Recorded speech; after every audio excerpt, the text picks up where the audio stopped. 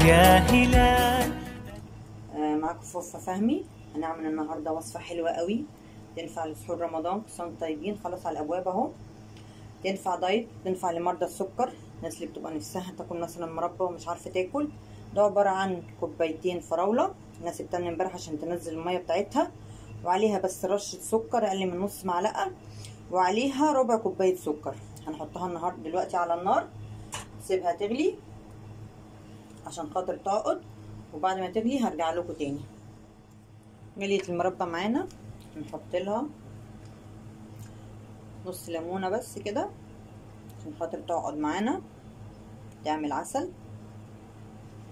طبعا لازم نشيل الريم اللي على الوش ده.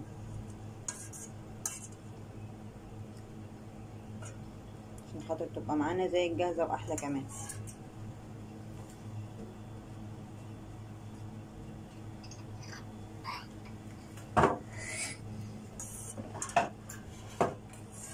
طبعا لازم نفضل شايلين الغطا بتاع الحلة عشان بيفور خالص.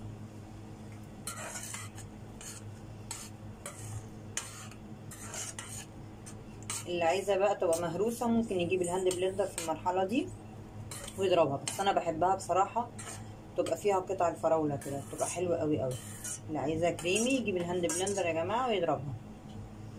طبعا دي كلها أذواق وإحنا لازم نرضي جميع الأذواق. لما تغلي خالص بقى وتقعد هرجع لكم تاني عشان الفيديو ما يطولش عليكم.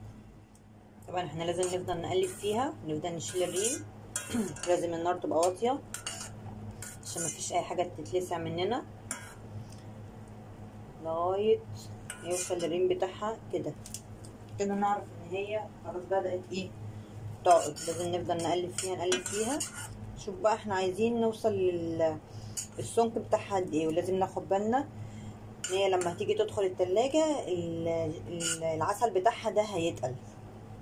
لما نعمل في المعلقة كده ونلاقي العسل لسه ثابت في المعلقة كده يبقى آه خلاص بدأت تقعد هنحط لها بقى الفانيليا عشان إحنا مش حاطين فيها يعتبر عسل كتير عشان تديها برضو طعم. ومزازة الفانيليا كده مع الفراولة بيديها طعم حلو قوي. أنا هحطها بودر عايزة تحطيها سايلة براحتك. الاتنين بيديهم طعم حلو قوي. خمس دقايق بالظبط وهنقفل عليها نديها تقليبة برضو. سيبها تبرد. هتشوفوا كمية صغيرة قد كده. في موسم الفراولة اللي إحنا فيه ده طبعا الناس كلها بتحب الفراولة. كمان العسل اللي إحنا حاطينه آه من الموالح. فكمان غير إن هي فيها طبعا أوميجا 3 وفيها مضادات أكسدة مليانة فيتامينات. مع العسل هو في فيتامين سي فإحنا كده خليناها آه بفوائد متكاملة. هتبرد وهعبيها في البرطمان. طبعا البرطمان لازم يبقى نضيف معقم. آه وبعد كده هرجع لكم تاني. بردت المربى شوية وغرفناها في البرطمان. بصوا يا جماعة عملت كمية قد إيه؟ حلوة جدا جدا. ومغذيه للكبار والصغيرين.